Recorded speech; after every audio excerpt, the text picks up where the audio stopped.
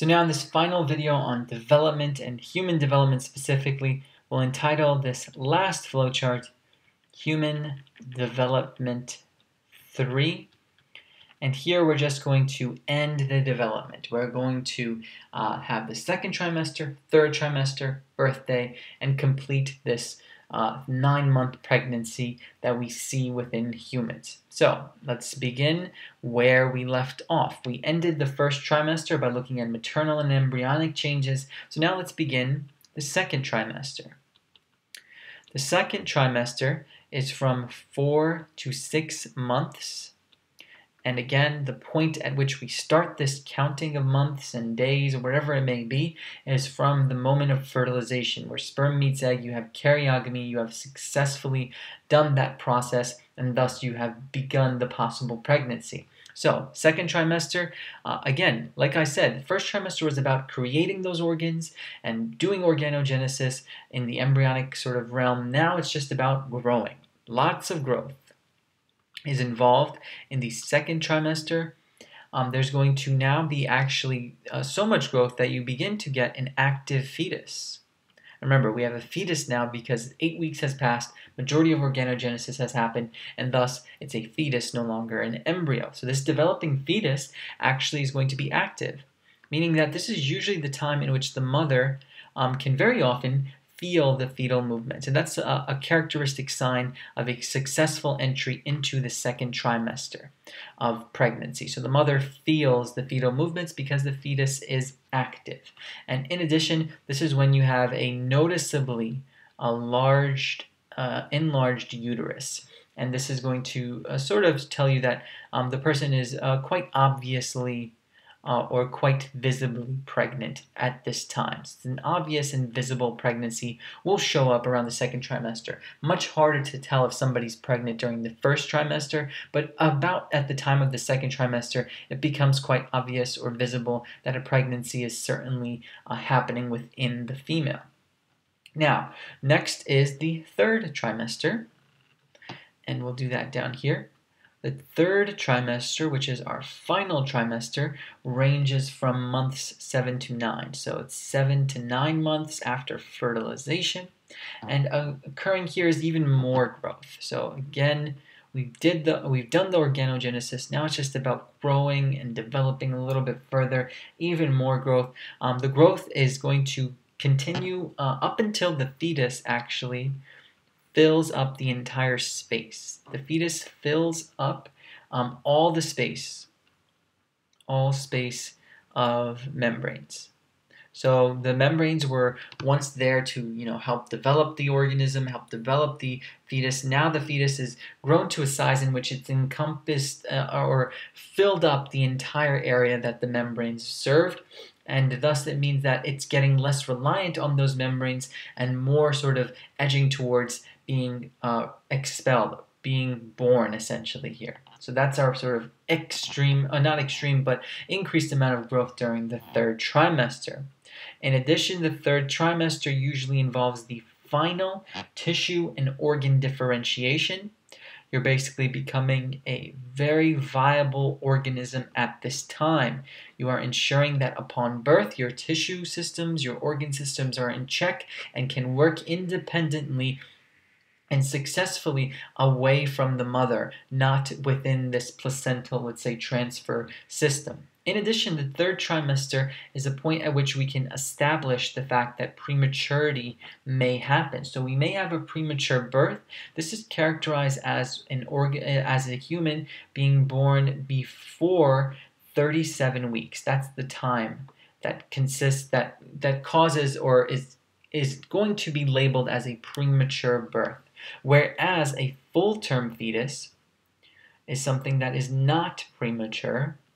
A full term fetus is going to be any uh, fetus that is born after 37 weeks. So before 37 weeks premature, after 37 weeks full term. And usually what we see on average, and this varies a lot, but on average it's about 6.6 pounds at birth um, uh, the baby that is, and the baby is about 20 inches in length. So those are our averages. Again, they vary quite greatly depending on you know the mother depending on the environment a lot of other things so this is just a good average number to keep in your mind so that's our third trimester and here we are finally concluding with now the birthday the birthday not one word but two words in this situation the birthday occurs after about 266 days of development it occurs after about 38 weeks of development. It occurs after about nine months after the fertilization. All of these mean the same thing, um, but just to reiterate, know the terms of know the numbers of nine months, 38 weeks, 266 days. That's a sign, or those are signals of the final sort of events of human development. So, what happens on the birthday? The birthday is when you have childbirth, and childbirth begins with labor. So this process of childbirth is going to begin and is sort of induces itself on the mother uh, with a state known as labor. So um, the mother goes into labor. Many of us have heard this before, but we don't really understand the actual mechanisms associated with going into labor. So, when a mother has gone has gone into labor, childbirth has begun. This would mean that she is undergoing rhythmic uh, uterine contractions. So these contractions are happening uh, at an increased rate. They usually start at a slower rate and get faster and faster, and these contractions are very noticeable. These contractions are um, some of the most unique feelings that this individual will ever have in their life, and thus it's a very obvious sign that birth is about to happen. Purpose of the contractions is simple. The idea right now is to push the fetus, to push the fetus and the placenta also, because this is a structure no longer needed that needs to be expelled out of body. It is time for birth, and thus you're going to utilize contractions, rhythmic uterine contractions, um, for this birth process. Now, again, this is not just going to happen on its own. Much like many things within the body, hormones are going to guide the childbirthing process. So hormones guide this. Specific hormones of interest would be things like prostaglandins, also uh, estradiol is going to be a hormone that's going to be involved in the birth process, and also very famously oxytocin. Oxytocin is directly involved in this rhythmic uterine contractions, much like prostaglandins and estradiol, but this is the famous one because of that positive feedback loop that you want. You want these rhythmic contractions to get stronger and stronger and stronger, and oxytocin follows a positive feedback loop to induce that process.